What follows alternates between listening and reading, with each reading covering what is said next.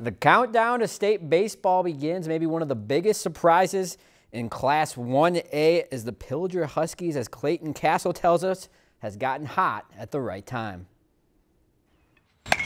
Watch out! The Pillager Huskies baseball team is headed to the state tournament for the first time in school history. Oh, it feels great. Uh, these kids really deserve it. They're uh, they're riding pretty high after our win Thursday against Walker. Uh, we feel terrific. Yeah. Really excited. My mom's really excited. so, and uh, you know we're just relaxed and go out there play our game and get it done. The team got to this point by defeating Walker Hackensack Akeley 13 3 last week in five innings. While runs have been easy to come by for the Huskies, it was the defense that really gave the Huskies momentum last Thursday.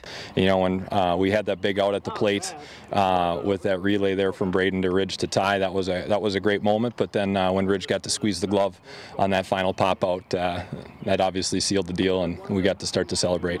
Despite the big play, errors continue to plague the team, but the Huskies know they need to clean up the mistakes on defense if they want to have a shot at the title. Definitely just limit the errors because last couple times we played Parkers that who were playing first round, we had a couple errors the first two times we played them this year. So if we just keep those to a minimum, we can put up a good fight. But for now, Ridge is enjoying the ride as a senior, making history and leaving a legacy at Pillager High School.